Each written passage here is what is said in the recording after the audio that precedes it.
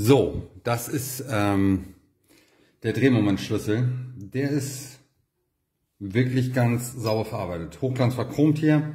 Gut, ähm, fangen wir oben an. Der hat ähm, diese kleine Umschalt, äh, den Umschalthebel, so ist der gemacht. Und ähm, jo, keine, Vollver äh, keine Feinverzahnung, reicht aber mal für uns allemal. So, wie ist das hier hinten gemacht? Ähm, der hat hier die Skala, das muss man so ein bisschen üben mit dem Ablesen. Ähm, dann kriegt man das aber auch gut hin. Ähm, genau, Newtonmeter und dann diese, äh, was ist das, KPSI, brauchen wir ja nicht. Wir haben hier Newtonmeter.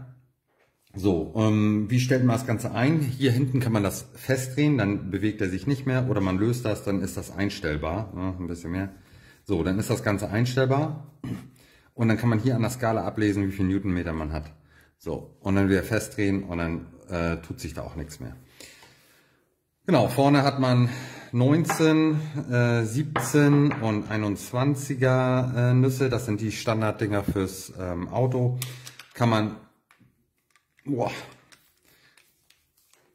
kann man direkt drauf tun. Hier hinten, das ist gut gemacht. Ähm, also mit Sicherung, zack, so.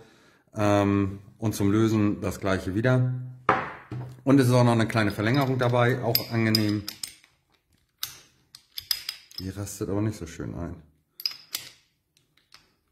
Was soll das denn? Oh, oh doch, passt schon. Ich dachte gerade, aber das ist okay so.